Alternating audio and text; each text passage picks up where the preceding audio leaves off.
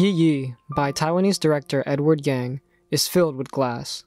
The film is riddled with shots that playfully combine light and reflections to visually arresting effect. We're reminded of this motif at every turn, whether it's seeing characters in a mirror, seeing characters look through windows or panes, seeing our characters through windshields, or seeing characters from the outside looking into a shop or building. But what does this motif achieve other than aesthetics? In some instances, the motif arrives when we are supposed to feel a sort of melancholy solitude. There's a distance felt between us and the characters. We feel like outsiders, unable to enter their world. It reinforces how some characters truly feel alone. Even we, the viewer, aren't given the chance to empathize with a close up or even a clear look at the character's facial expressions. Sometimes this motif moves beyond solitude and embodies an important separation and potentially desolation. Throughout the film, the motif of glass represents separation in several forms, whether it's a loss of control over a loved one's fate, or a viewer's separation in understanding a conflict in the diegesis, or even as a physical barrier, an object in the way of a character's goal. This last form stands as an impactful way to reinforce separation. Our characters can see their goal, their desire, yet there is still something perhaps unseen in their way. In this shot, Adi has just had a baby and films from the other side of the glass wall. In the next scene, Adi's unforeseen barrier to a happy life with his new baby is realized when his former partner makes an appearance at the party. Everyone knows that she wanted to marry Adi, so her appearance confuses and angers his wife. Adi's wife, paranoid and upset, then lashes out and berates Adi's former partner and devolves the party into a hectic argument.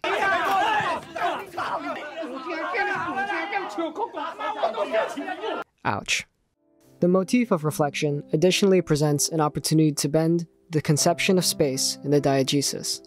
Reflections allow for another avenue of storytelling, another lens. We see characters enter reflections before they physically enter the frame. In this shot, we see not only inside NJ's office, but his secretary's desk too. The two images feel blurred over one another, and we get an idea of the entire space packed into one frame.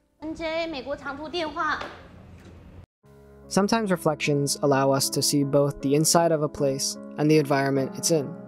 A common theme in image is urban living, such as concrete high rises and apartment buildings, or lit up office cubicles and bustling highways.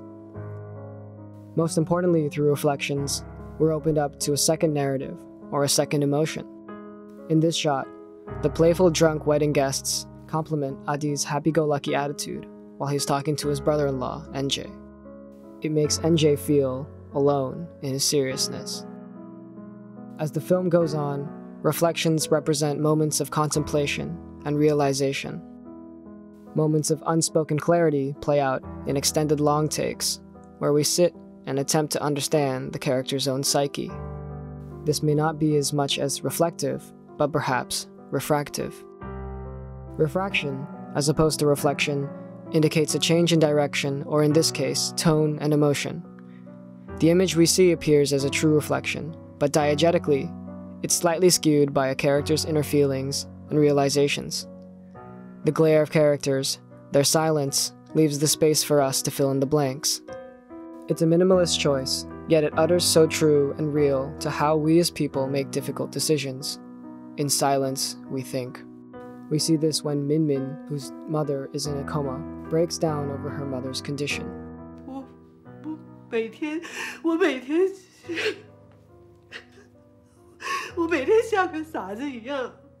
As she looks over the vast cityscape in solitude, we don't need dialogue to feel what she's feeling. We can feel her contemplation, her change in attitude, and ultimately when she makes a decision. Nancy. All played out in one take. Her decision? She leaves her family to a Buddhist retreat in search of solace.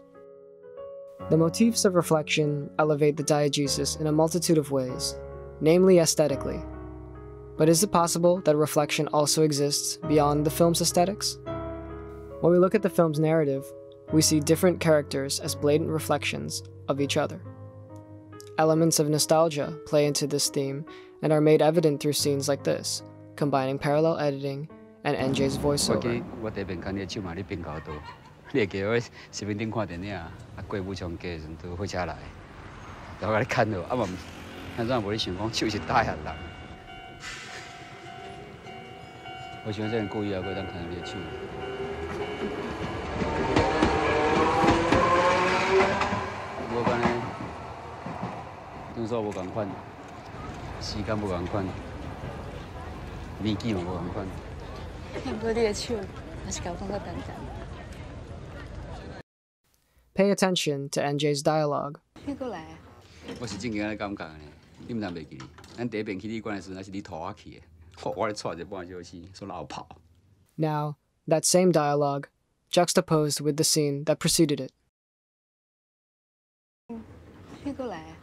我是正经安尼感觉呢，你毋通袂记。咱第一遍去旅馆的时阵，那是你拖我去的，吼，我咧带一个半小时，说老跑。这也很难说了。不过那是你落跑，我真的以为你再也不爱我了。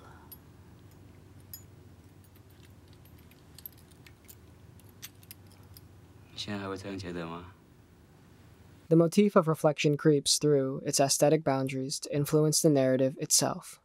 But even that, too, is subject to change and isn't always the true image. Reflection, refraction.